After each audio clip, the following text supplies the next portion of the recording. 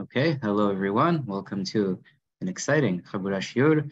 We have with, us our beloved Chacham Berdugo, who's uh, with us very often, thank God. Uh, we're going to be discussing today uh, the Omer and Rabbi Akiva, all the different minhagim that people have during this time, what exactly happened, uh, very apropos. Um, so we are going to start with that, uh, just announcing that we, the Chabura published our Shavuot book, so make sure to get a copy uh, before uh, the, the Moed. Uh, speaking of books, uh, Chacham Berdugo also has a book that was published with us a while ago, Understanding Chazal, so make sure you get a copy of that as well. We always love to see your faces, so if possible, uh, you know, open your uh, cameras. Um, and with that, uh, the floor is yours, Chacham.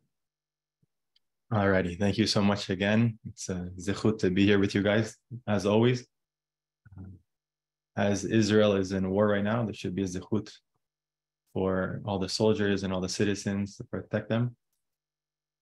So, although this topic may be a day or two days old, or I would say delayed, because if you're, let's say, most Sfaradim, they're already started taking a haircut or shaving today. Many Ashkenazi men, also Sfaradim, already did it on Lag BaOmer.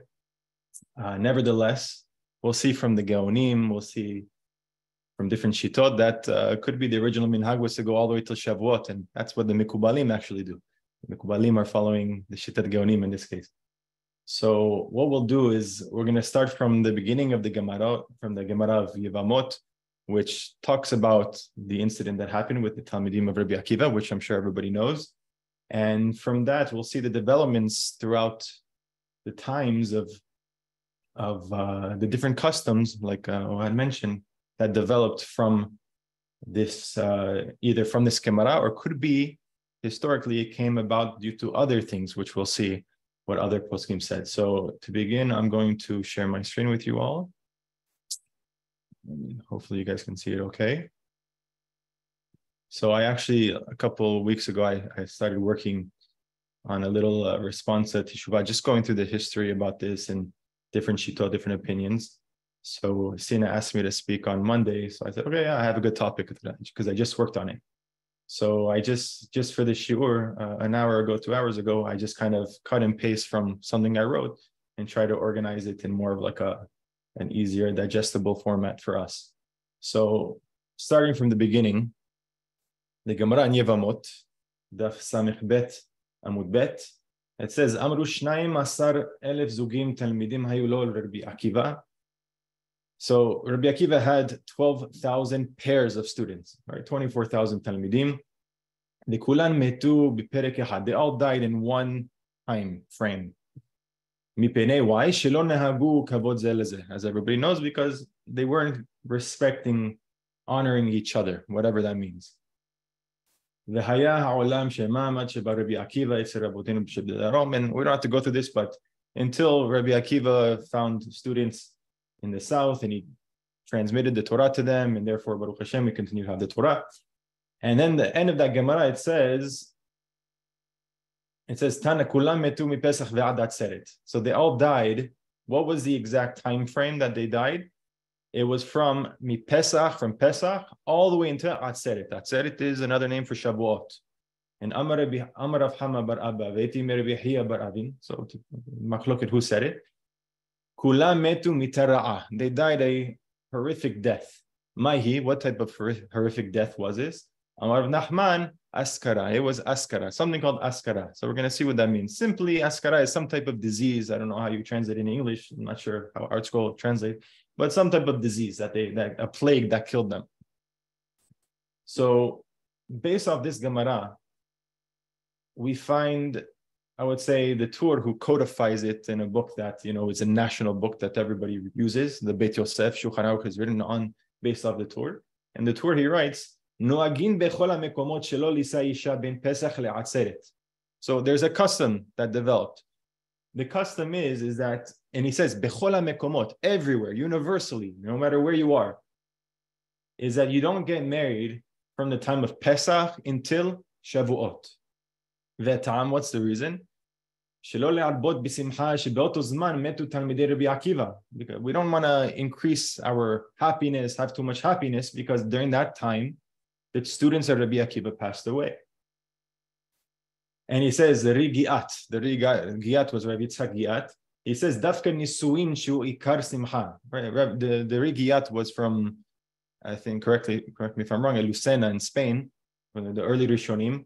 And he writes there that it was specifically only marriage, because that's the main simcha of marriage, of, of, of you know having a husband and wife getting together is the marriage. But if you're just going to do li'ares or kadesh, just the engagement process, that would be okay, not a problem.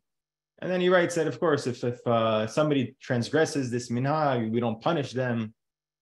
Okay, and then he continues to say, "Veyesh mekomot shenagu And now he brings in the yesh mekomot. You have to medayek in his words. In some places, because before he said bechola mekomot for marriage. However, some places have a custom sholi istaper not to get a haircut. And then, but the, in these people, or in, in, it sounds like another minhag. So you have a minhag within another minhag. So some people don't get haircuts the entire time, and some they actually get a haircut on Lag BaOmer yesterday ve'elech and continuous until until Shavuot. And they she'omrim she'az piskulim because at that time, that's when the Talmidim of Rabbi Akiva they stopped dying. Right? How do we know this? There's no real clear source for how, how where do we know that it stopped at Lag BaOmer? I mean, the Gemara said Aratzeret, right, the entire time. So he's coming throwing like a wrench at us, saying, "Whoa, a curveball!" Where it stopped at uh, Lag BaOmer, based off what these people are saying. Fine. Then he brings down another custom. Custom we're not going to get too much into, but there's another minhag. I don't know anybody who practices this minhag nowadays. But from from Pesach until Atzeret, from Shkiat Chama, once the sun goes down until Shaharit, they don't do any melacha because that was a time when they were busy burying all the Talmidim of Rabbi Akiva, and therefore they were batel from melacha, and that's why people don't do it as well. They don't do melacha during that time.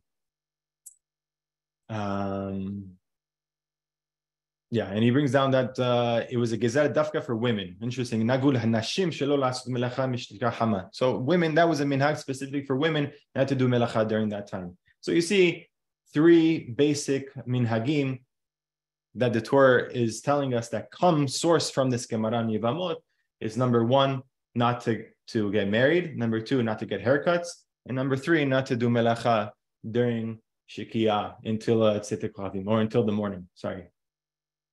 So the question that you know everybody asks, and uh, I'm sure many people in the Habura find the, these minhagim very difficult, is that we do not find this anywhere. This these customs in the Talmud, we don't find it in the Mishnah, not in the Talmud. We don't find it in any midrashim, right? And and not only that, we don't find it in the Rif, who was the the greatest codifier, or the Rambam, also the greatest codifier, or even in the Rosh, who was one of the greatest Ashkenazi poskim as well. So what happened here? Where, how did this minhag develop if we don't find it anywhere in Shas and in the, the works of the Chazal? And uh, and and especially if it's based off the Gemara, you would think uh, it, it should be written somewhere in these works. So, however, we saw that the the the Tur mentioned that it's from the Geonim.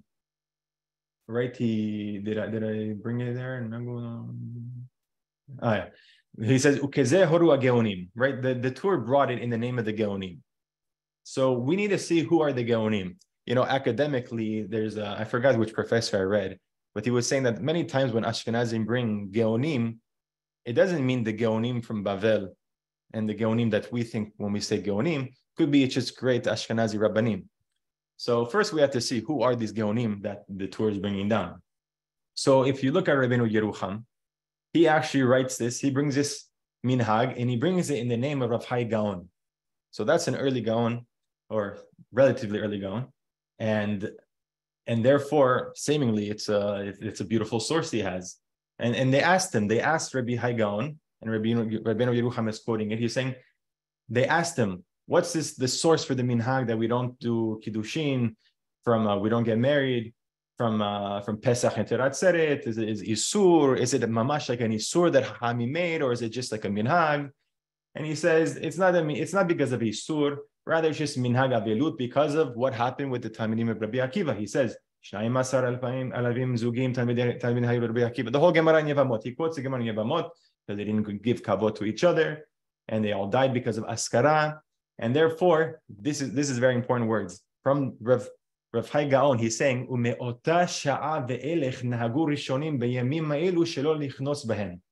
So he's saying from that time and onwards, meaning from the time of the death of Rabbi Akiva's students, they they developed the minhag during that time, from that time, that people wouldn't get married. Okay. And therefore, he just talks about kiddushin. It's not a if they do kiddushin, it's not a problem. It's just marriage was the, the problem, like the Tur said. And then I found also in the the halachut pesukot, there they bring down that it's not Rav Gaon. This they bring it in the name of Rav Natrunai Gaon, which is also a very early Gaon, which is also brought in the Sharet Teshua as well. So we see that many Rabbanim are bringing this in the name of Geonim, Geonim that we call Geonim from Bavel, Pumbedita, Surya, etc. So a big a big uh, difficulty, a, a, side point with this whole Gemara and the whole Minhag is, I'm sure many people heard about this, the Igeret Rav Shirira Gaon.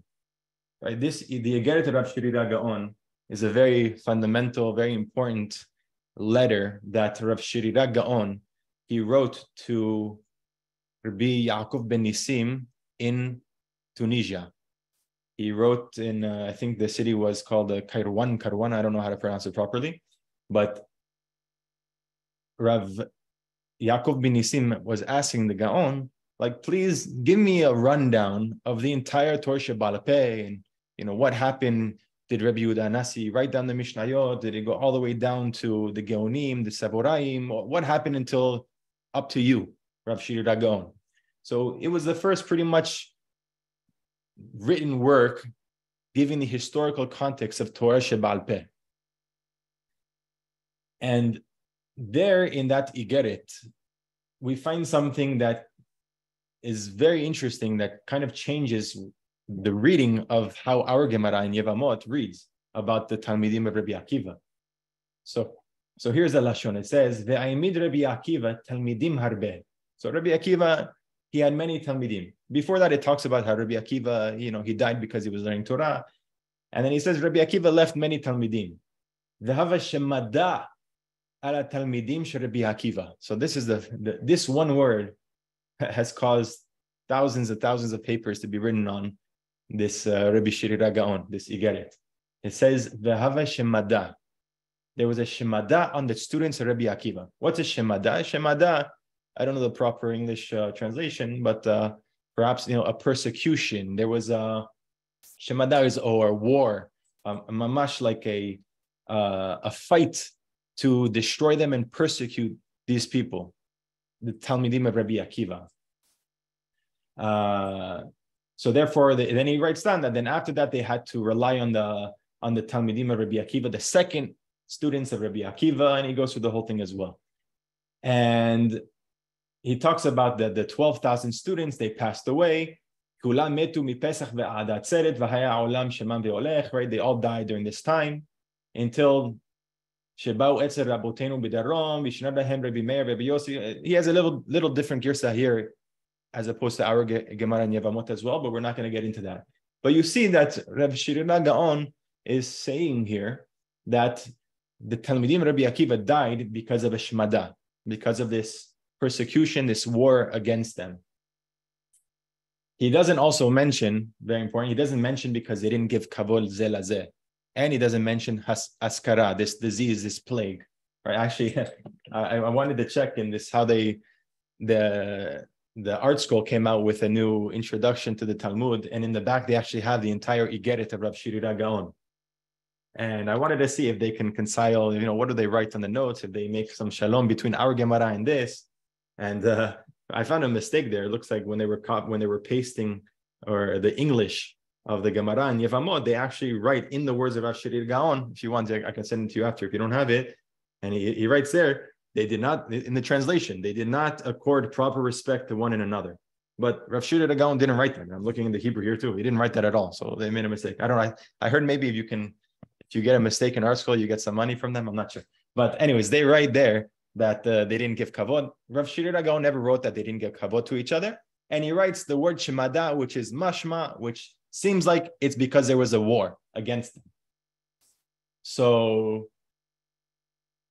okay, so how do we how do we get how do we deal with this and how do people how do different uh, rabbanim deal with the with these questions okay so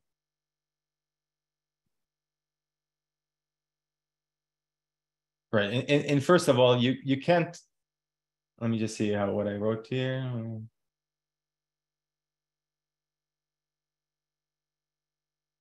Right. So so this is the classic answer. The, this is the answer of the Dorot Rishonim of Rabbi Yitzhak Isaac Levi, Halevi. And that they want they want to say is that let's read it inside, it's better. He says, Lo yuchal yot safek ki leshono shel Rav Shirira, right? It, for sure, the lashon that Rav Shirira Gaon used, v'hava shemada ala talmidim shel Akiva, eno milashon haragil shayu alehem shemad. La'aviram al dat v'nehergu. Right? He's saying we, we have to, as I say in Yiddish, touch it up. It's not Rabbi Rav Shirira Gaon is not using the word shemada as we normally use it. Rather, when he said shemada, right, it must be something else. Meaning, he, he says because usually shemada means la'aviram al dat, going fighting there against the, killing these persecuting because of their religion and to kill them. He says because the Gemara in Mifurashim, he says we can't say that because the Gemara says straight up in Yevamot, Amar Rav Hama Barava, Veitim Rabbi Baravi, Kula metu mitara'a, Maihi Amar Askara. The Gemara said it's because of Askara. So therefore, um, and we know Askara he brings from another Gemara, Askara, we know it's a plague. And he says, so therefore he answers. So it must be that the lashon of Rabbi Shirda, how does he answer? It's the lashon means shmada means like there was a death, a plague to them. There was a destruction to them, to the people, to the Talmidim of Rabbi Akiv. And he brings from the lashon of Tilim also nishmedu doar, right? That they were destroyed in Indoar in that place.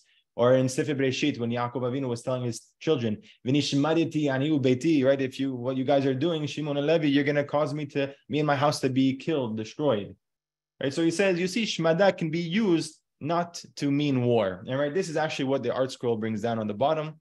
That of course there's no chiluk between them. And Shmada, you know, he just used the lashon in a maybe poetic or different uh, lavdafka way.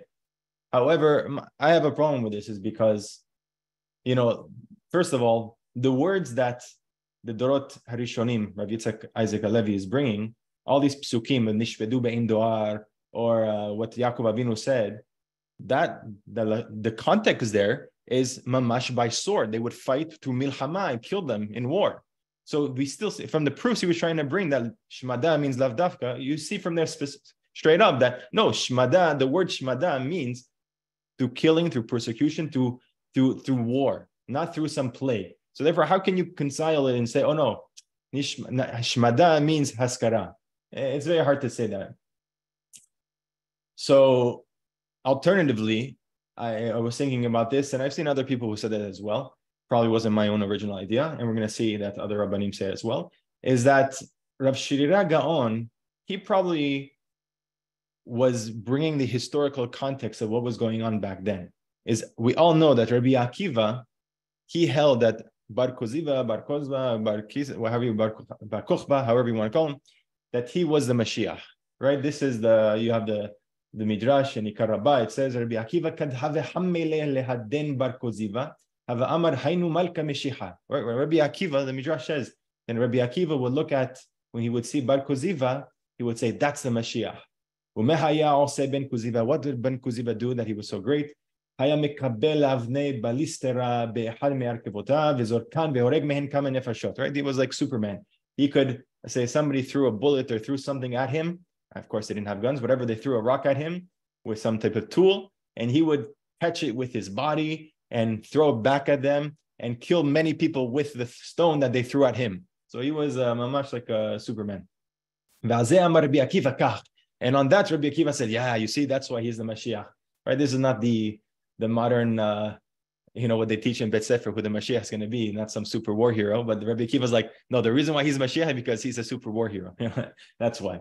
But uh, anyways, Rambam as well, he brings down in Hilchot Melachim Milchamot, I'm sure everybody knows this one, is that, you know, Rabbi Akiva Ham Gadol Mishnah he was one of the greatest Rabbanim, and the Huayano Sekh Hilash ben Kuziba and he used to carry the, you know, the, the utensils, you know, he used to serve Ben Kuziva, who was like a melech at that time. He was a Mashiach. He thought he was a Mashiach. He thought that he was a Mashiach. And this is interesting, Rambam. Not only the Rabbi Akiva, but all the Hachamim of his time, of Rabbi Akiva's time, it was one of the greatest Rabbanim. So people follow, you know, if, if Chaim Kanievsky says something, everybody's going to follow. So they were following him as well. Everybody thought he was the Mashiach. So therefore, if that's the case, and we know that Bar Kuziba, he passed away in war. Uh, the Gemara has something that he, Hachamim killed him, but he, he, his soldiers, there was a massacre and all his soldiers died. So therefore, perhaps historically, what happened is that you know the Talmidim and Rabbi Akiva, they were following Rabbi Akiva, and they went to war. They went and fought with to go with Bar Kuziba and fight the Romans, fight, fight the Goyim, and they died in war, and that's what happened. And that's a shmada. The shmada against the Talmidim and Rabbi Akiva is that they died in war. So that's a simple way to say that. However, it conflicts with our Gemara, and so seemingly according to this, you have to say, you know, something. How do you, you know, our Gemara? We're going to see actually where Mazuz says is beautiful, but there's some contradiction. You know, either our Girsa is right and Reb Shira Gaon is wrong, or Rav Shira Gaon is right and our Girsa, Girsa is wrong. It was changed because of the censors or whatever. So I found in Or Torah, which was is a beautiful uh, magazine, or I don't know how you call it, kuntrus that comes out from the yeshiva of Kisei Rahamim in Bnei Brak, that the, the Rav Ne'eman, the Meir Mazuz, he should live and be well. He writes, he deals with this issue uh, very nicely. And he writes, he says, let's say it inside, let's read it inside. He says, that the Gemara says in Yevamot because of Askara, that plague, he says, that if they were in reality to treat themselves, treat each other respectfully, they would have been saved in a miraculous way through the merit of the Torah. And due to that, perhaps Bar Kochba would have won the war because of how the Talmidim and treated each other so nicely and respectfully. So he's trying to say, let's continue. But he's saying, שדרך חז"ל בכמה מקומות So this is interesting. So, so he, pretty much he's saying is that hachamim they gave one perspective of the story, but Rav Shirira Gaon was giving more of a historical and actual perspective of what happened. And that they're spiritually tied together, that you know that we could win the war if spiritually the hachamim were nicer to each other. But it all ties down to the war of Bar Kuziva. And he says a very big yesod. He said that the Hachamim, they always wanted to hide certain attributes of the Jewish people that were warriors and that we know how to fight and we know when we need to step up to the plate, we can step up to it because of the different kingdoms we're living under. Because we, you know, we didn't have our own state, we didn't have our own country, etc. We're living under Goyim. So the Hachamim kind of have to hide it and kind of focus on the more spiritual aspect of things as opposed to the more materialistic war-like uh, um, perspective. So he says, and he said he brings like in Shabbat, for example, the Gemara in Shabbat, it, it talks about my Hanukkah.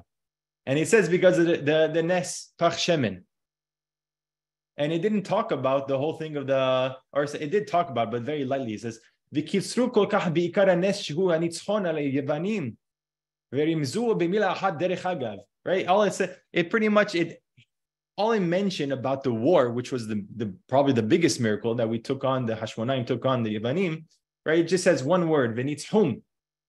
That's it. You know, very simple. One word. It was very katsur on, on the on that on that thing, on that matter and it just moved and talked about the spiritual thing of the of the fire the miraculous uh, uh, aspect of that miracle and so you see that again they didn't focus on that although the, the difficulty is that in our amidah it only focuses on that fine but whatever vigam rabinu akadosh in the mishnah rabinu akadosh also he doesn't talk about the nes hanukkah right? All, only in Baba Kama he mentions it in a very agav way, in a not so direct way, just talking about the, you know, if there's a Hanukkah outside, whatever. So he says, and, and, and he brings from the Pri Hadash that the, the first, the real reason, you know, there's always all these questions. Why do we have eight nights of Hanukkah? Why do we light eight nights? Whatever. So the Pri Hadash answers the first night we're lighting is because of the this war that we won against uh, the, the Yavanim. So he's saying this, this yesod of Hachamim is to kind of hide and not dwell on the fact that, you know, the Jewish, Jewish people are awesome soldiers and can kick, you know, uh, their tuchis. I don't know if I was okay. והשתניחא, כל הקושיות הנ"ל שלא הרגישו עולמות, רבי עקיבא וחבריו, כי בעבודנו רבים כך דרך המלחמה, כי חזו חזו תאכל החרב. וגם למה קבעו הראשונים מנהגי אבל בימות העומר דורות. So he's saying, now this answers all the questions about, you know, was it only the Talmidim of Rabbi Akiva? Why do we have all these minhagim? Where did it come from? Say, no, Hachamim, they were hiding it. And not only are we mourning the Talmidim of Rabbi Akiva, but we're mourning for Klal Yisrael that they were really decimated, they were really destroyed during this war with Bar Koziva against the Romans. And that's why we have all of these, all of these uh, minhagim of, of the Omer, because he says, Kihem litzar churban betar, shnigda'a keren karov Yehudim rabim. Says because during that time, that's when Beitar was destroyed, and around 1 million Jews died. So now Rav Mazuz, through this, is giving us, you know, a, a, a, stronger reason. It's not only because of the Talmidim, but it was because of war that we lost. And it's mentioning just Rabbi Akiva and his Talmidim, again, only because Hahamim were focusing on more of the spiritual reasons behind the, the loss or the, the reason why we didn't have the merit to win the war. But of course, there's no stira, there's no contradiction between what Rabbi, uh, what our Gemara, Gemara in Yevamot says and what Rabbi Shirira Gaon was talking about. Um, fine. And then also, so according to Rabbi Mazuz, you have to say that there was really no askara, which is a little difficult. The, the Gemara said there's askara, that there was this plague. Uh, but according to Rabbi Mazuz, saying no, Hachamim just used the word askara to hide it from the goyim. There was really no plague, but they just wanted to focus on Rabbi Akiva and his Talmidim, and there was no really askara. So very interesting.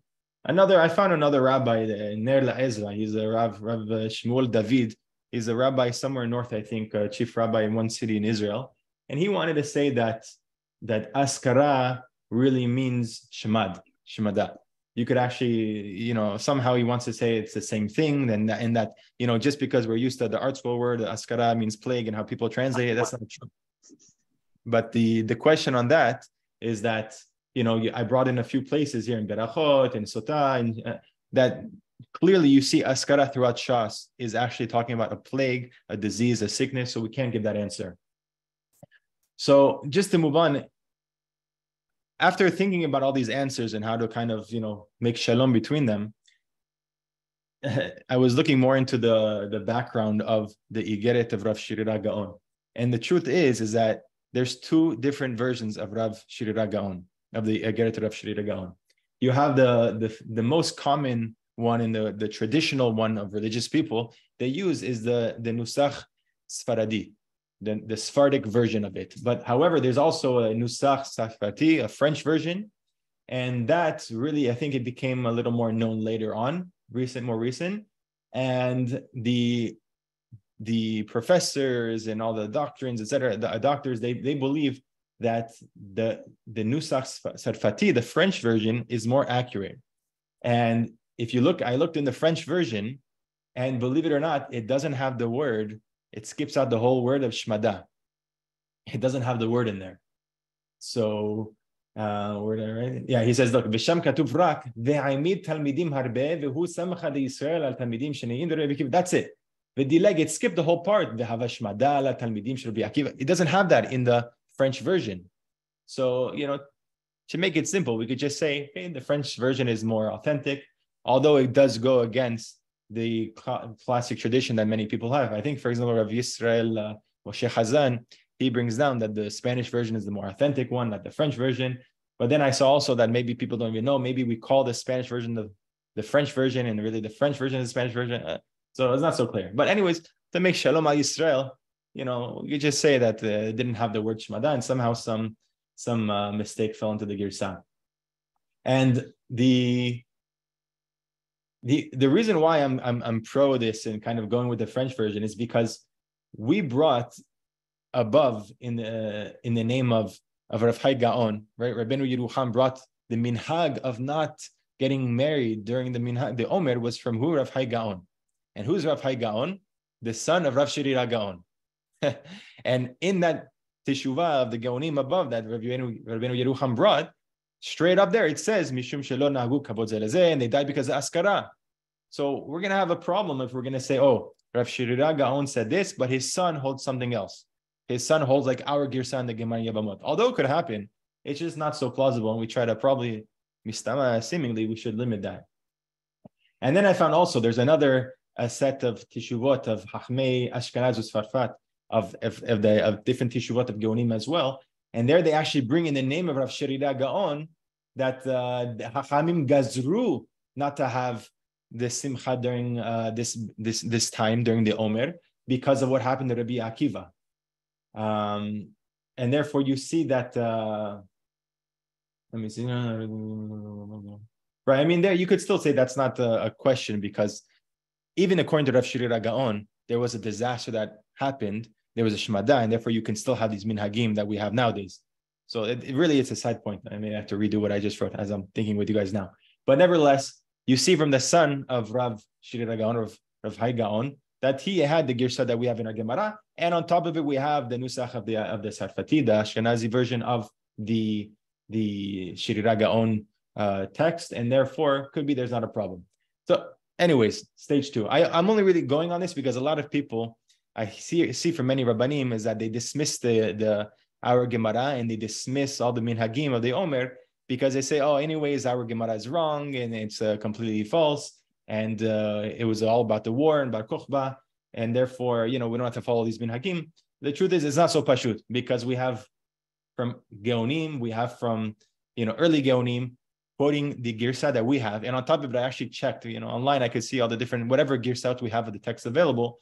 And all of them, in our Gemara, every Gemara that they have available right now of any Kitvei Yad has Askara inside of that text and it doesn't have anything about Shmada. The only Mikor that I could find is Rav from this Rav Shirira Gaon. That doesn't mean it's right. I mean, what I'm saying is right, but it's just less probable. Anyways, so we have this minhag. We have to go back to the question about the minhagim. Why don't we find it in the Rambam? We don't find it in the Rif. We don't find it in the Rosh. But at the same time, so so maybe we would think that this is a later development, but we found that at the same time we find that it's already brought down from the Geonim, early Geonim. So who's one of the earlier Geonim that we see bringing it down? Because you could still say, you know, let's say, you know, there's a concept in Hazal, if you want to, I forgot the exact uh, English word for it, but sometimes you want to make people really care about what you have to say. So they would actually say in the name of somebody else what they're really saying, even though that other person never said it. You know, they want to say, oh, you know, I, uh, the Rambam said this, even though the Rambam never said that. So perhaps maybe these you know, all these people that are bringing Rabbeinu Yerucham, all the other the early Ashkenazi Rabbanim that they're bringing this minhag, maybe they're saying it in Rav Natronai Gaon or Rav Shirira Gaon.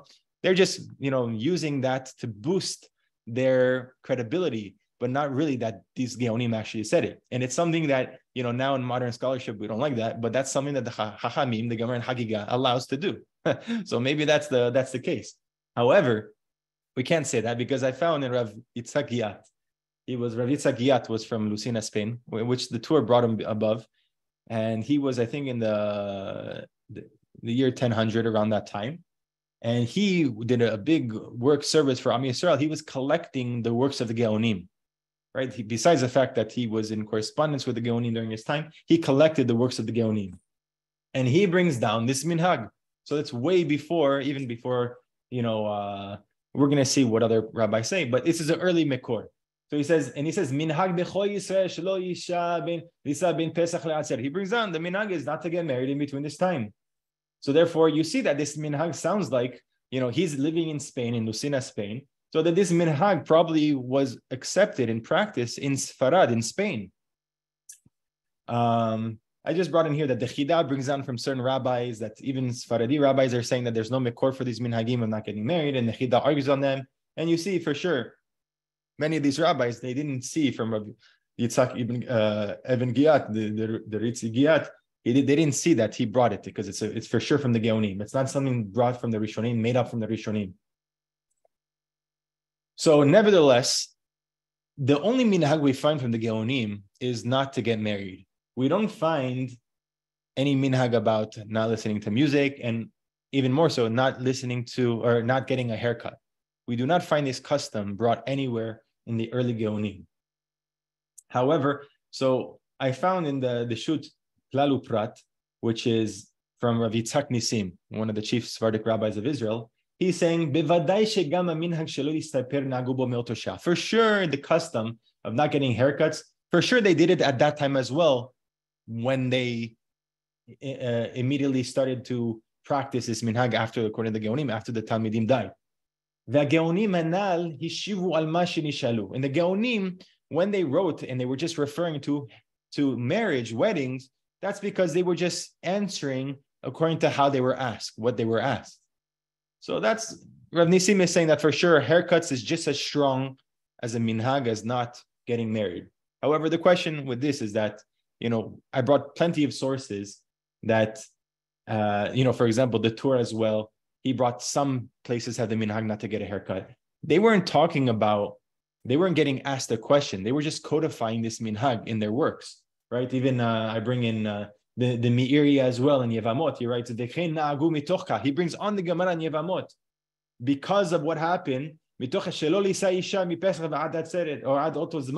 Right? And they don't mention anything about haircuts. And the the the the the Rigiyat as well. He didn't mention anything about haircuts, even though he wasn't asked. He was just codifying the works of the Geonim. So it's kind of hard to accept what Rav Nisim is saying. So the first person, so we got do some. I was doing some research. Who was the first Rishon to mention the custom of not getting haircuts? So in the 13th century, we find the Shibbolei HaLeket, who is from Italy, and he writes down. He says, "Veyesh leachar Pesach al lamed gimel beomer." So he writes the minhag for not getting haircuts. He brings down some places, yesh mekomot, not like everybody said that, the kola mekomot everywhere. Some places have the custom not to take a haircut from Pesach until Lamed Gimel Be'omer. And the reason why we have to get into the whole Lamed Gimel Be'omer thing is where did this come from? Uh, nevertheless, before that, but you see from him that Lamed Gimel Be'omer for haircuts the whole thing he brings out, I didn't read the whole thing, but it's very interesting. But for the marriage, he brings until Atzeret, until Shavuot. So it's kind of like, you know, Hatzi, he has this.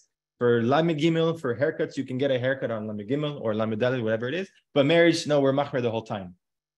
Fine. And then he brings another one that some get married until Rosh Chodesh, and then he gives a different reason for it, but we're not going to get into these things. But now, where did this Lamed Gimel Be Omer come from?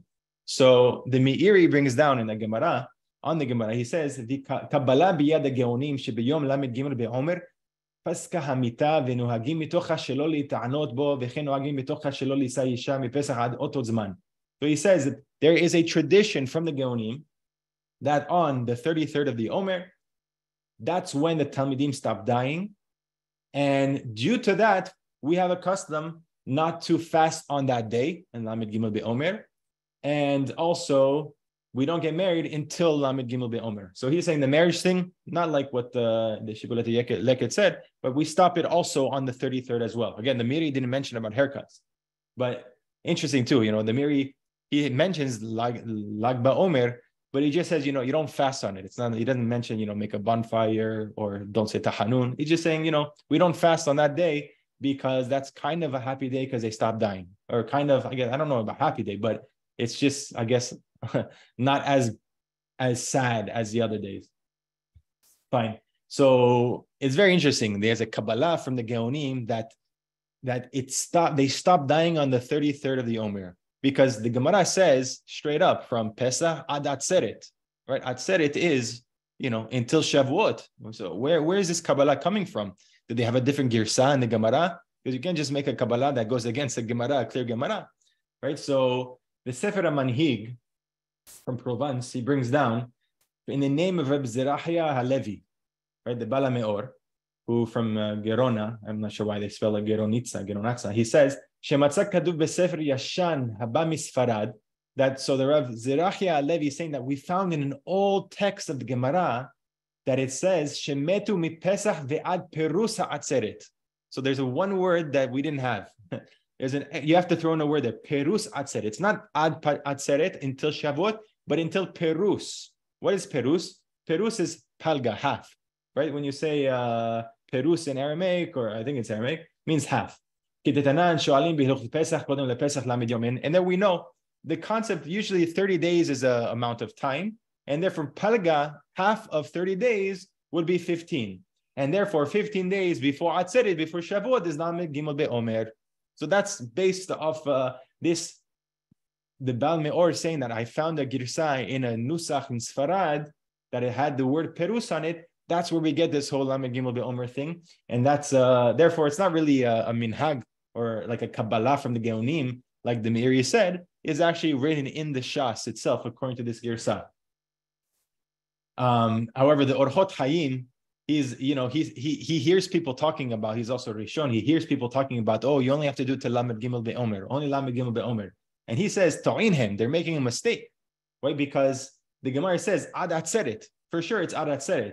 And that that people talk about lamed gimel beomer that's only because from pesach until atzeret you only have 33 days besides excluding shabbat and the eight days of pesach and the three days of rosh chodesh. So he's saying lamed gimel 33 is because those are the only days really that you can implement the morning because everywhere else they're happier days, whatever. So he's saying it's a mistake.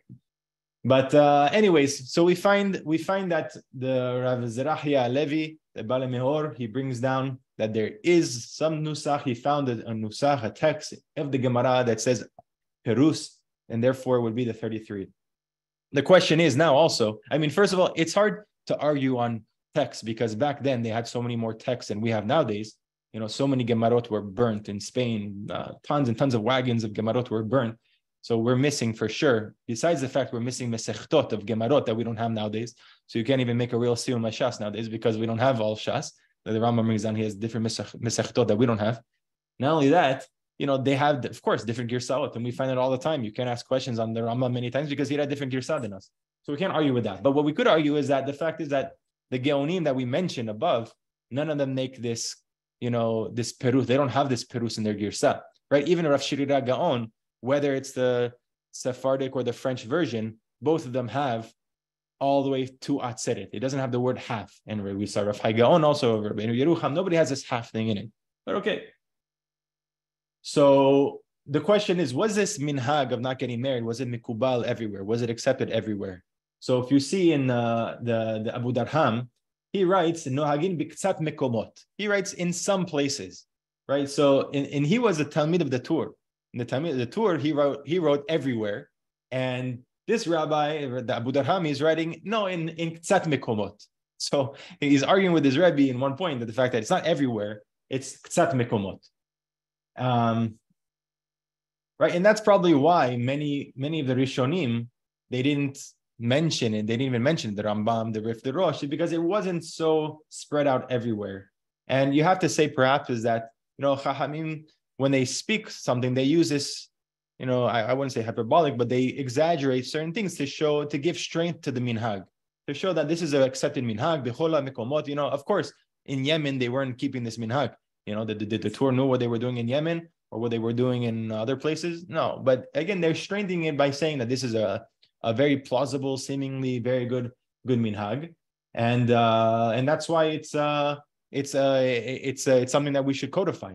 And and you the, you have to say this as well because remember we said that the Geonim write me'oto sha'a the, the lashon was uh, me'oto sha'a from that time and onwards, meaning from the time that the Talmidim of Rabbi Kiva died and onwards they were practicing this minhag. But you know if that was the case, you know we should at least find it somewhere you know, not getting married for that long should be something mentioned in Shas, should be mentioned somewhere. So we have to say, perhaps just, you know, a little more rational, is that they, it really wasn't that old of a minhag. But to give it tokif, to give it strength, you know, they said it like it's a very ancient minhag from that time and onwards. But of course, you see the Rambam, the Rif, they didn't really, you know, care about that so much, and they didn't think that it's such a strong minhag, and that's why they didn't codify it. Right here, the, the Rambam I just was reading today that Rav Eliyahu Abergel, the Beidin of Yerushalayim, should be well. Uh, he writes also that from the fact that the Rambam didn't bring it in where he brings uh, the halachot of the Omer, you know, that shows that he didn't hold this custom. He should have said it. So I found the Rav Yekutiel Greenwald from Columbus, Ohio, believe it or not. He was a big Talmid Hacham, a big posek that passed away in 1955. He writes that, you know, he also had this problem that we all have is that, again, why did the Shas not talk about it? How come the Rambam didn't talk about it? So he writes right away is that the Rishonim made it up. He writes the Rishonim made it up, and they made it up because of Masai Atzlav, meaning the Crusades, because of what happened during the Crusades in Europe. During the Crusades in Europe around 1096, 1097, when that in, initiated, and of course all the Jews Jews were being persecuted like crazy, the Hachamim they created this the, of that time. They created this custom and it was because it was during the time anyways. And they were tole. They said, okay, you know, we're going to attach it to what happened to the children of Rabbi Akiva, to the Talmidim of Rabbi Akiva. And again, they didn't want to, and he brings down, they didn't want to, uh, they didn't want to, you know, hurt or offend, which is interesting, or at least make known what happened to the goyim around them. So therefore, they just said, you know, it was from uh, Rabbi Akiva time. That's why we're mourning, and not because of you goyim. You guys are okay, whatever. Um, the problem with this is that you know, if you read more, he writes that, you know, all the Rishonim don't mention it, but it's it's unfortunately it's wrong because we already saw above that way before the Crusades, uh, not way before, but at least hundred years before the Crusades, where we already find Rabbeinu Yerucham quoting the Geonim that had this minhag. So that shot can't be said. However, uh, I also found though there is a, a 13th century scholar in the, the Sefer Asufot. He brings down also is that interesting. He brings this minhag. Minhag hu bazeh malchut she'en nosim nashim ben pesach la'atzeret mipnei tzara gezerot shenahargu akihilot bechol zeh malchut. Right. So he brings down. We we he brings down that the reason why we don't get married has nothing to do with what the Geonim said of Rabbi Akiva, rather because of the Crusades of that time, during those times. So you see that there is a basis for what Rav Greenwald was saying. However, again, we already have the minhag brought from the Geonim earlier. So I want to say is that the reason why the minhagim spread so so um, out all over Am Yisrael was you had this small custom amongst the Geonim. It wasn't accepted everywhere. The Rambam didn't mention it, other didn't mention it. But during the Crusades, when things started going really sour for Am Yisrael, especially in Europe, that's when this minhag really took on full power and spread like wildfire all over Am Yisrael, and much stronger that it became a universal minhag that pretty much everybody that so much so that the haram sorry the the Shulchan Aruch he codifies the words of the Tur that even the Sfardi Sfaradim were following this minhag. Fine, so that's just a simple shot that I was thinking, but uh, I would like to hear your thoughts. What do you guys think? So the thing is now now shaving the sorry haircuts.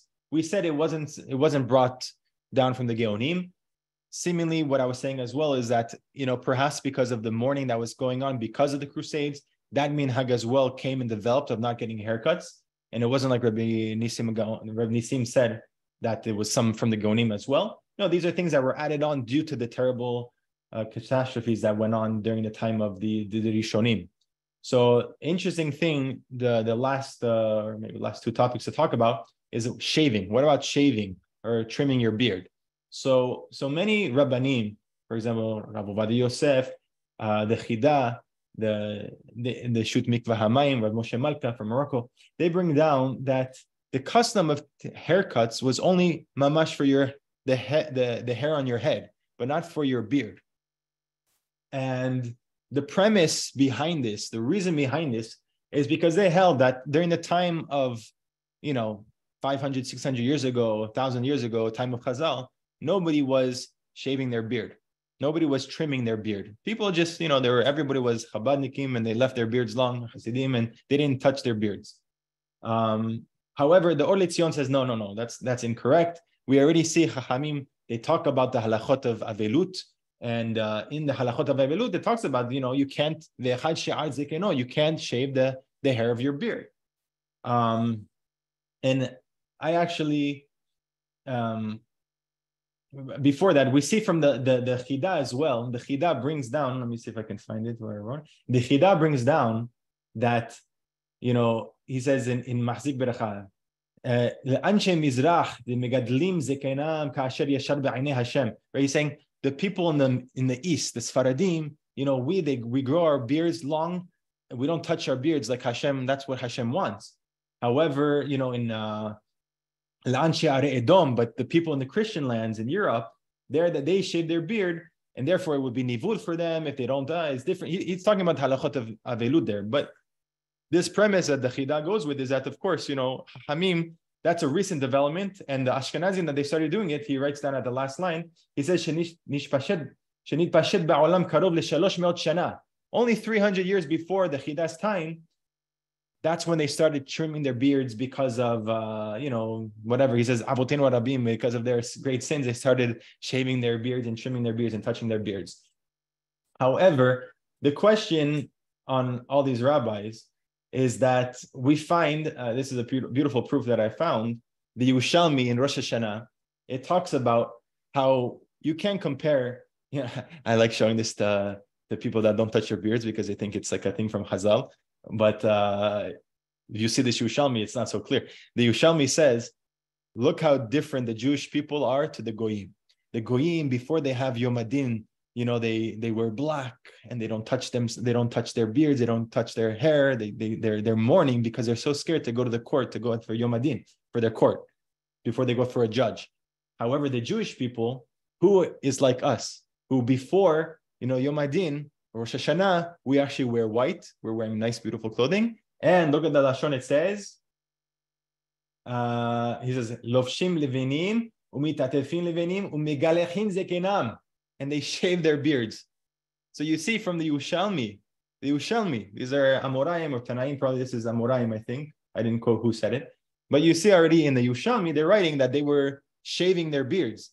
Okay, Megalichim, you could also use the Lashon for trimming or cutting. It doesn't have to be shaving, but they were touching their beards, unlike, uh, you know, what the, the Chida was saying. So you see that for sure, you know, if there was a custom of not to tr- touch their hair, that could be a custom as well during uh, the time of the where they make this custom of the Omer. Sorry, I meant to say is that if there was a custom not to touch your hair on your head, it could apply as well. Seemingly, it should apply as well to not touching your beard because that is something that ha- Hahamim always equate together. Don't touch your hair. That means also you can't touch your beard, which is a machloket again for Chol Moed. If you're going to shave on Chol Moed, you know the, the same poskim, Rav Moshe Malka, all them they want to say that Hahamim never were gozer touching your beard during Chol Moed. It was only about haircut. So therefore, they held that you could shave during Chol Moed because Hahami never talked about that because they didn't shave their beards back then. But you see, it's not like that, right? And there's also another Tosefta that talks about, you know, Hachamim we're talking about you're not allowed to cut your beard. So it's throughout Shas or in different places, not Shas, but in Chazal, that they were touching their beard. So anyway, back to the, the acceptance of this minhag the Radbaz, you have the famous Radbaz who's living in Egypt. He comes down and he writes, they ask him about this minhag. And he says, he himself, Anna Avidna Uvda benafshai, I myself, the entire Nisan, I shave, I cut my hair. Verosh Chodesh Iyar, and on Rosh Chodesh Iyar. So really, the, the Radbaz was probably one of the greatest Faridi Rabbanim during the time of Maran as well and uh, he writes that he would do it the entire ER because that's a happy. Uh, sorry, Rosh Chodesh uh, Nisan because that's a happy month, of course, and also on Rosh Chodesh because you can't do Avelud there. And he says, and he says also, if you don't shave, you know, if you don't cut your hair, that's going to be uncomfortable. There's going to be a lot of suffering for a person that usually cuts his hair. Right? When I read this, I thought for sure he's talking about your beard right? Because what Sar, you know, for 30 days, 20 days, according to the maybe 18 days, according to him, the calculations, if you include all Nisan and Rosh Chodesh, Iyar, you know, 18 days not cut, not going without cutting your hair for 18 days is not so bad. So the tsar probably would be, you know, your beard if somebody, because that's really if you don't shave, it gets very uncomfortable. Uh, it affects the way you're eating as well, all that stuff. So therefore, that's what I thought. But I saw, you know, the Chida brings down from the Radbaz, he's talking about, you know, specifically haircuts, and they used to cut their hair all the time back then which is interesting. I'm not sure. The, the Chida lived 200 years after the Radbaz. So, we, you know, could be that's the Mitziut, how it was. Maybe it wasn't. I'm not sure. Um, fine. So, anyways, you see that the, the Radbaz says that, you know, he himself would do it the entire Nisan and Chodesh and the Rosh Chodesh. And he says, um, he brings down also, ובר מדין אני ראיתי כמה קהילות שלא נהגו מנהג זה כלל ומסתפרים בכל שבוע כפי שמנהגים מנהגם לכבוד שבת. And also I, he says that I see many קהילות that they actually take haircuts Erev Shabbat לכבוד Shabbat. So therefore, you see, the Radbaz didn't really hold so much of this minhag, how, that it wasn't really so strong, and it wasn't poshet, it wasn't spread out like all the other rabbis were saying it was, right? And uh, the, I, I, didn't quote it here, but Maran Bet Yosef, the Shulchan Aruch, he codifies that you know he codifies and he he he he he makes it equivalent the minhag of not to get a haircut with not getting married. He gives it just as much credence, and therefore, you know, the Radbaz is saying no, it's not, it's not so strong. Um, so something interesting I found about Moshe Levi in Tefillah LeMoshe, he brings down is that perhaps you know Maran that he wrote that it's a mistake. You know, this year probably the, the most popular question. I remember eh, COVID once it was, you know, can you do a siyum on Zoom? Or can you the Zoom thing before Pesach to let people hear your seder? This year, the biggest question, I think thousands of rabbis were getting text messages. Oh, Rosh Chodesh, Ma'alat Shev on Rosh Chodesh. Ma'alat Shev on Rosh Chodesh. So Maran said that it's a ta'ut. If you shave on Rosh Chodesh or get a haircut on Rosh Chodesh, it's ta'ut. It's a mistake. You're to, you're to'eh. He says, but for, for sure the minhag is including Rosh Chodesh all the way until Lag Ba'omer or Lamed Lad Ba'omer. But uh, Rav Moshe Levi says something very nice. He says, perhaps if Maran Beit Yosef, you know, he saw what the Radbaz says that many places didn't have the minhag of uh, refraining from haircuts, perhaps you know he would have withdrawn what he said. Perhaps he made a mistake because the mitzvot that Radbaz is testifying that that wasn't the case everywhere. Um, just to finish off on this on this uh, theme is that the biggest question that we all have to ask ourselves on the minhag of not getting a haircut is that we have a Gemara in Ta'anit, a Gemara Ta'anit that says straight up that even during Shavua Shechalbo, right? Hachamim, we know on the on the week of Tisha B'Av, they made certain gezerot that we're not allowed to do, certain uh, halachot we're not allowed to do, and one of them is you can't, you know, you can't uh, clean your clothing, and another one is you can't you can't get a haircut. However, Hachamim said that when when Tisha B'Av is going to fall out on a Friday, you are allowed to shave on Thursday. You're allowed to get a haircut on Thursday. Why? Because of Kavod Shabbat. So you see from here that Hachamim, even on a takana that they did, on a gezerah that they did, or takana, however you want to look at it, a takana they did, that they said on Shavua Shechalbo, the day, the week of the worst, you know, where we're we're, we're keeping full-fledged Avelut because, or almost full-fledged Avelut, because of the biggest catastrophe that ever happened to Am Yisrael, the, the Chorban Beit HaMikdash. Nevertheless, they suspended this takana because of kavod Shabbat. So if that's the case, then kal vachomer for a custom, a post Talmudic custom, let's say, or any custom that developed just a minhag, it's not a takana, it doesn't come from the Bedin Agadol, then for sure that you should be able to shave Erev Shabbat or get a haircut Erev Shabbat, Mishum Kavod Shabbat. It's a Kal Vachomer. If Hachamim said it's okay on a Gezerah, takana that they did, Kal Vachomer on a minhag that you should be able to trim or get a haircut for Erev Shabbat. So that's just uh, something to leave off on. If we have just a couple, five more, three, four more minutes, if you don't mind, just regarding music. Music is the latest development on, on this custom that wasn't found, you know, it's not found anywhere in Shas as well, and even in the Geonim and even in the Rishonim. The first one to bring down the co- concept of not uh, hearing music, it's not really even t- talking about music. Rather, he's talking about rikudim and uh, he's talking about it's a Magen Avraham talking about you shouldn't uh, do dancing or make these or, or or these circle dances that you know they do at weddings. You shouldn't do that during the Omer. So that's what the Magen Avraham says. And from that, the poskim they bring down that, uh, for example, the Minhat Yitzhak, I think I brought it here. Yeah, the Minhat Yitzhak he brings down from there that that Kal you shouldn't listen to music then, right? If if the Magen Avraham saying we shouldn't do this dancing, Kalvachomer, we shouldn't listen to music as well because that's just as bad, which is hard to understand. And I saw Rev Elyashiv also says that it doesn't make sense because you know it, it, it's not a kol shikin, it's not kalvachomer because dancing is much more happy than just listening to music. But whatever, the minhag became not to do like that. And the simple reason why Hachamim and nobody ever talked about it, even the Shulchan Aruch doesn't mention, is because according to Harambam, according to the Shulchan Aruch, it's forbidden to listen to music throughout the entire year. Hachamim made a takana after Tisha B'av uh, that you cannot listen to music, and that's why they don't even talk about listening to music. However, we have a kula nowadays, the the Shvut Yaakov, the Yaakov, he brings down that Hachamim, they only made the sword for actual real instruments, but when you're listening on the radio or stuff like that, that wouldn't be a problem.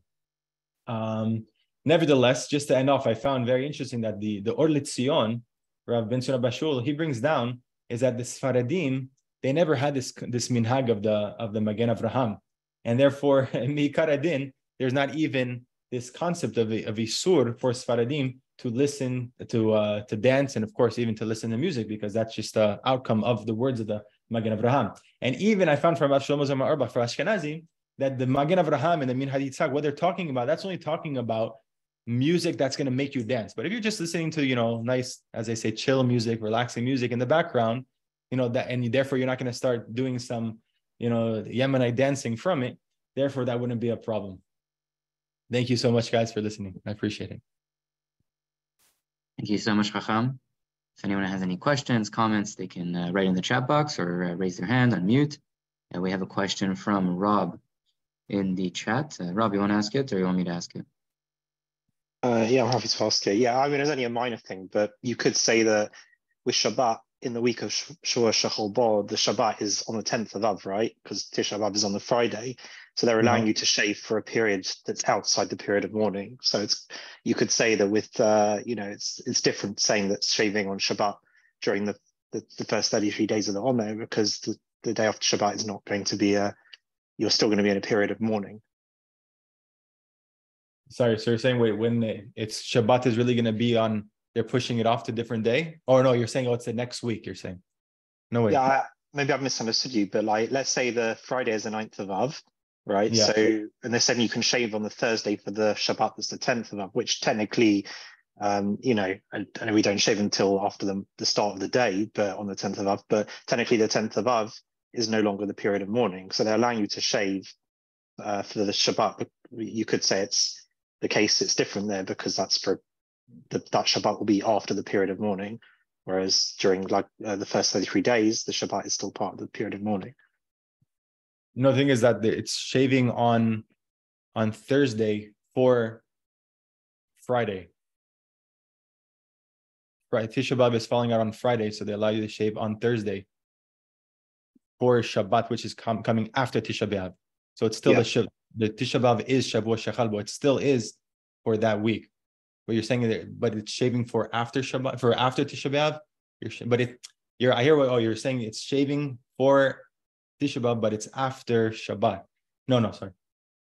It's you're shaving for Shabbat, but it's it falls after Tisha B'av, so it's. I'm just saying I don't know if you can make a total comment.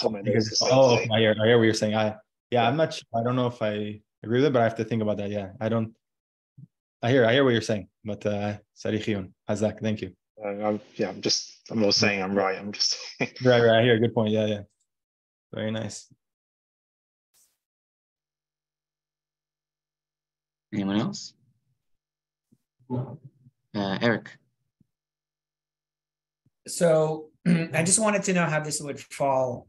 You once gave a detailed shiur about um, minhagim, like minhag makom, minhag avot, so I'm curious where this would fall because I feel like it's sometimes minhag makom. Now it's like an inherent almost minhag Israel. I don't know how to, yeah. like, think about it, and I, am just curious your thoughts. How would you reconcile that with your your your bigger, broader right?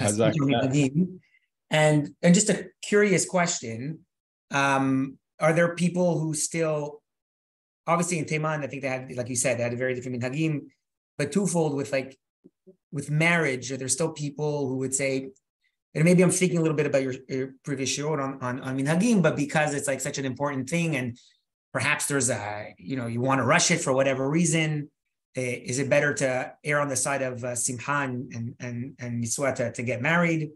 Um, if you you know you might miss that chance. Um, and also like just quoting the when you when you quoted the Orchot Haim, I'm just curious if he would be okay with shaving or getting married, let's say, on on those obviously a Shabbat you can't get married, but like on those days, um, you know that he counts to 33 minus eight, whatever, you know the oh, he gets right, to 33. I'm just curious if he would like, for instance, um, shave on on on Rosh Chodesh or get married on on on on Rosh Chodesh. Um, I'm not sure if you're allowed to. I'm I'm very ignorant when it comes to that. But like yeah. technically a shita, like following that shita or himself, would he be okay with that? Yeah, good question. Um, so going back to the first one, so what I see is that really there's not really any universal minhag regarding these things, and I guess depends on I guess what community you're part of. Um, but uh, I see most people wherever you are, people are shaving weekly. Um, haircuts maybe not, I'm not sure. But even though I know, I know even one of my uh, big rabbanim that they're they're getting haircuts even, especially if they have some occasion, they're doing it. So it's very hard to say, you know, this universal minhag because I don't even think we have that nowadays. Depends if you're living in maybe in a very Haredi circle somewhere in Yerushalayim, maybe they have, or you're part of a yeshiva, learning in the yeshiva. But in the balabatish world, you know, when you're working as a balabait, I don't really know what uh, what minhagim, what universal minhagim there are. So it's very hard to to kind of say there's some uni- uni- universal minhag in these things. Um, uh, even regarding uh, you know listening to music, I also see shitot left and right. You know, you know, listen, you have to say Rav Shlomo Zalman saying music is okay as long as it's not dance music. And uh, Or he's saying them Sfaradim never had the minhag. But then you see Rav, Rav Yosef saying, no, it is a Sfaradim minhag of, uh, you know, he, he goes with the Minhat Yitzhak saying that, yes, we learn it from the Magen Avraham. So it, again, it's it, there's so many different shitot, so it's very hard. And regarding marriage, there's also there's uh really Rav Ovadia is I didn't quote it here, but the Radbaz says that for marriage, okay, that's a minhag from the Geonim, it's an old minhag. But however, you know, for sure that wouldn't push off for Pirya If a couple never did Pirya of course they should get married.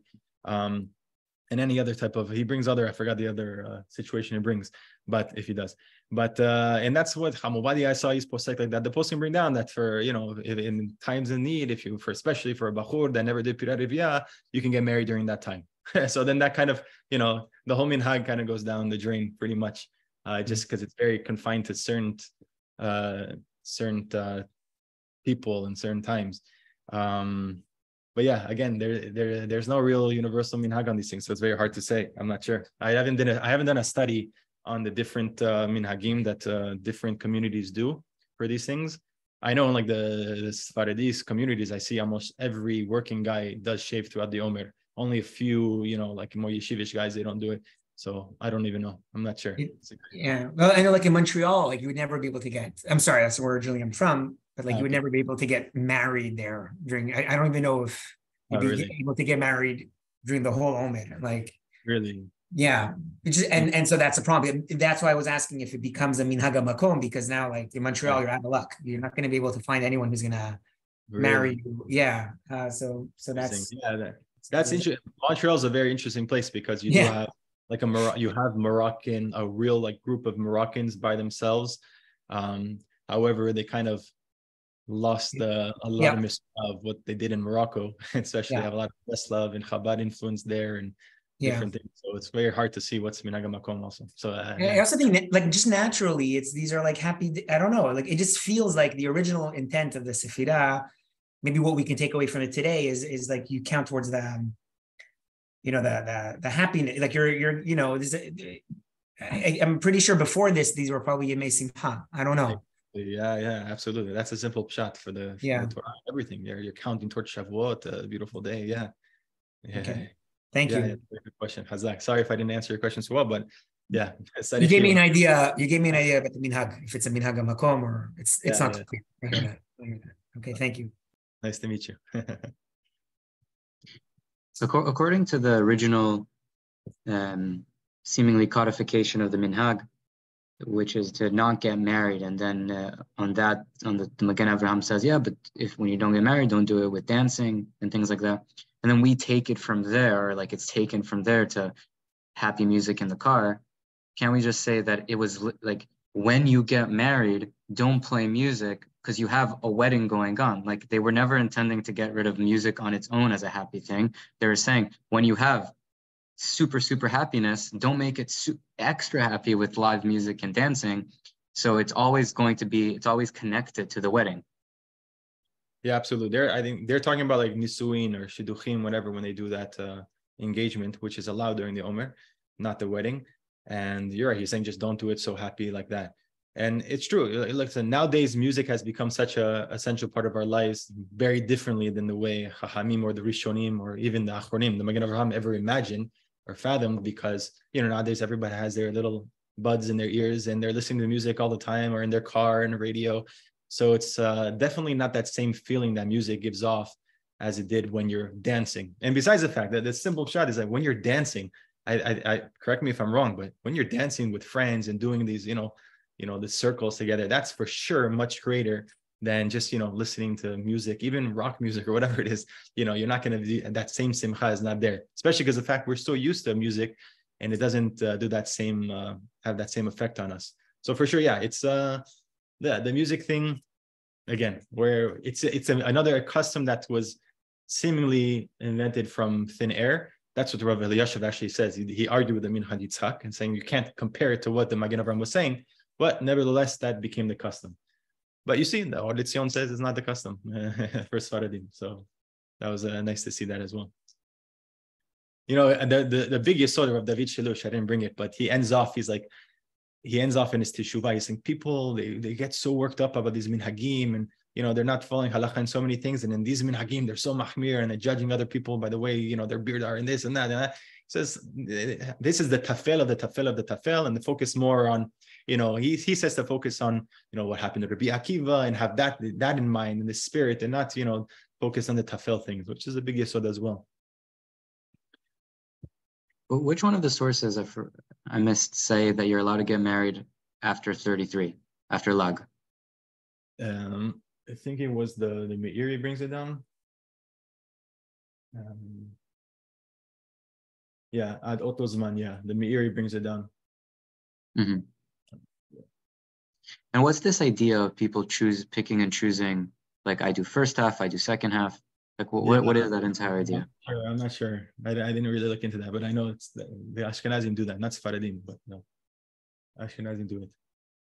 Right. Yeah, because and, uh, yeah. No, no, go. No, no, it's okay. It's uh. And and and for those that are comparing and contrasting between halachot of true avelut, I mean, can, can we really compare? Uh, we're not we don't actually draw all over all copy paste all all of the halachot of avelut um, so can we really compare about how we do halachot and avelut and draw it over?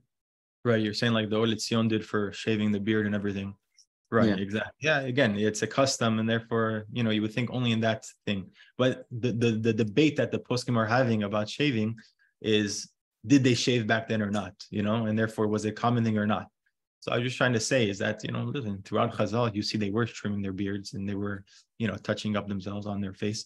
So therefore, you know, if there was a minhag not to get a haircut, it'd be probably mistama. It was the same thing, and uh, yeah. So, so yeah. Even the, the Radbaz, it's interesting. The Radbaz, where the Chida said that the Radbaz, I didn't. I don't know if I quoted that the Radbaz, he they were living in. Uh, they were during a time. Uh, they were sorry. They weren't talking about shaving the beard because that was only a minhag in Eretz Edom, and from 300 years ago the funny thing is, is that the Radbaz came from Christian Spain. And in Christian Spain, for sure, they were shaving their beards. So if they were shaving their beards, then maybe I'm sure the Sfaradim there as well were probably, you know, doing some touching of their beard as well, because that was the minhag in Spain of the goyim. And usually that's what happens. We dress the way, we look the way the goyim are around us. So just something interesting too. I think I wrote it in my in my paper that I wrote, but I didn't bring it here. Mm-hmm. Yeah. And, and if I'm if I recall, the Shulchan Aruch writes um, listaper, but he doesn't say the litkader.